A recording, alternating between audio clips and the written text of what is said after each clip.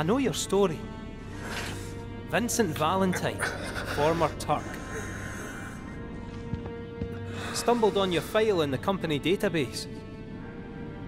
There's a reason you're alone in the dark down here, and that reason has something to do with Sephiroth. Am I right? That's none of your business. I only ask because you might want to come with us. I don't know whether Sephiroth is dead or alive or something in between. But I do know that if I stick with this lot, I'll find out one way or another.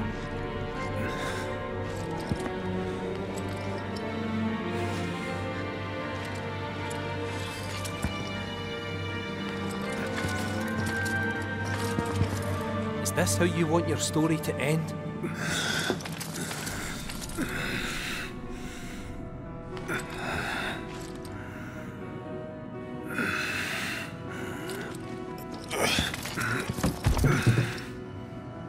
Get out.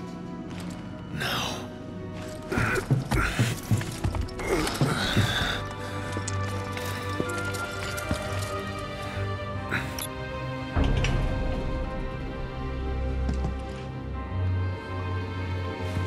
That'll be your way out then. Now we know where the temple is, let's not bother the man.